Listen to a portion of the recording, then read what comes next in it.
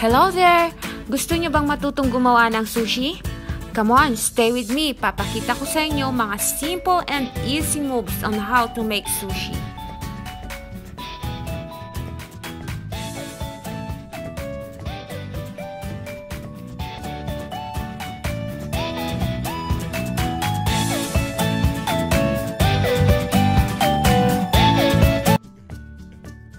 Hello fellas, Lorena's here. It's Tuesday morning.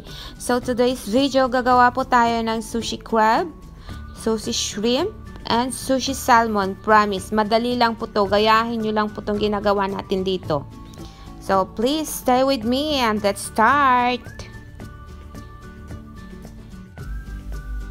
Kailangan po natin ng salmon, crab sticks, boiled shrimp. Sa previous videos natin, makikita nyo po on how to prepare boiled shrimp for sushi. Ilalagay ko po yung link sa description natin sa baba, okay? Tapos, sushi rice, someday, somehow, papakita ko rin po kung paano gawin yan. Nori, kailangan po natin yan para sa crab sushi natin. Wasabi, pickled ginger, and soya sauce. Na po natin sa salmon, gagamit po tayo ng salmon tail para sa ating sushi, mas mainam, okay? Yan, tabi natin yan para sa ating pangmaki later. Okay, yan. Kakat natin siya pa slant. At least one and a half inches yan. Observe nyo po yung pag ano natin ha, pag uh, natin ng kanin nun. O, di ba? Baliktarin natin yan, hindi natin siya dyan ilalagay. Baliktarin natin yung salmon. Dito natin siya ipatong. Okay? Yung kanin. Diyan natin ipatong yung ating rice. One. Two. Okay. Diyan dapat hindi nagtatagal sa ano, sa kamay natin yung ating isda kasi iinit yan. Dapat laging malamig ang temperature ng salmon natin para always safe, okay? So, ulitin natin yung dating procedure yan. Okay. Diba? Madali lang po siyang gawin. Basta observe nyo lang po yung galaw na ating mga kamay yan. So, that's our sushi salmon. Isunod naman natin yung ating crab sticks. Yan, hulmahin na natin yung ating kanin. Mga 15 to 20 grams po yung kanin natin dyan, okay?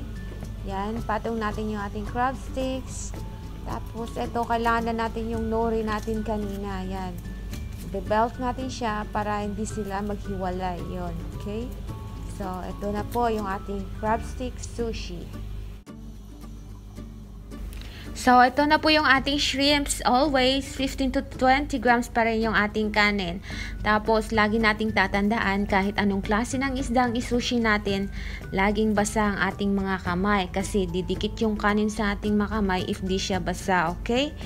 So, itong butterfly shrimp na to, mabibili natin po yan, 24 pieces for $15.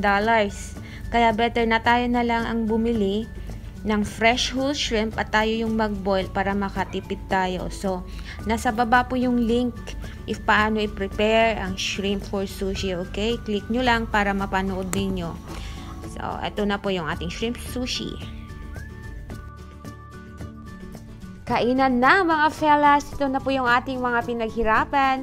Ito po, lagi natin siniserve with pickled ginger, wasabi, and soya sauce. Okay? So, please, don't forget to subscribe on our channel, Loreno Nang. At saka po, click na rin po ninyo yung bell button para ma-notify po kayo sa susunod nating mga videos. Okay?